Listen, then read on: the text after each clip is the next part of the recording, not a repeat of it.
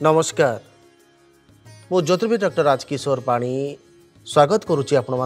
সাপ্তাহিক রাশিফল কার্যক্রমকু তুলা রাশির ব্যক্তিবিশেষ মানে এ সপ্তাহে বৈবাহিক দাম্পত্য জীবনে কিছু অশান্তি লক্ষ্য করবে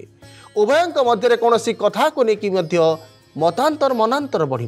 জীবনসাথী স্বাস্থ্যকু নেই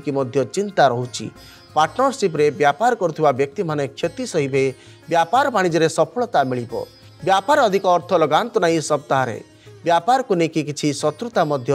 ରହିବ ଅଚାନକ ଆର୍ଥିକ ମାନସିକ ସ୍ତରରେ ଚିନ୍ତିତ ରହିବେ ଆପଣ ଦୀର୍ଘ ଦିନର ଥିବା ସୁସମ୍ପର୍କରେ ତିକ୍ତତା ବଢ଼ିବ ପୈତୃକ ସମ୍ପତ୍ତିରେ ଚିନ୍ତା ସମସ୍ୟା ଲାଗି ରହିବ ସମ୍ପତ୍ତିର ସୁଖ ପ୍ରାପ୍ତିରେ ମଧ୍ୟ ବାଧା ଅନୁଭବ କରିବେ କିଛି ଘଟଣା ଦୁର୍ଘଟଣା ସାମ୍ନା କରିପାରନ୍ତି ପରିବାରରେ ସାହାଯ୍ୟ ସହଯୋଗ ମିଳିବ ନାହିଁ ଏବଂ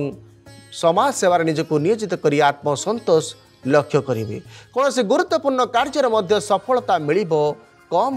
କାମରେ। ବଡ଼ ଧରଣର ଉନ୍ନତି ମଧ୍ୟ ଲକ୍ଷ୍ୟ କରିବେ ଏବଂ ନିଜର ପରିଶ୍ରମ ଚେଷ୍ଟା ବଳରେ ବଡ଼ ଧରଣର କାର୍ଯ୍ୟରେ ସଫଳତା ମିଳିବ। କୌଣସି ଶୁଭଚିନ୍ତକ ବ୍ୟକ୍ତିଙ୍କ ସାହାଯ୍ୟ ସହଯୋଗ ପ୍ରାପ୍ତ କରିବେ ଆପଣ।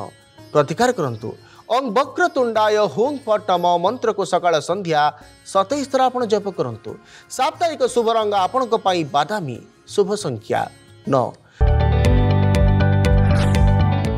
ଯଦି ଆପଣଙ୍କୁ ଆମ ଭିଡ଼ିଓଟି ଭଲ ଲାଗିଲା ତେବେ ଆମ ଚ୍ୟାନେଲକୁ ଲାଇକ୍ ସେୟାର ଓ ସବସ୍କ୍ରାଇବ୍ କରିବାକୁ ଜମା ବି ଭୁଲନ୍ତୁ ନାହିଁ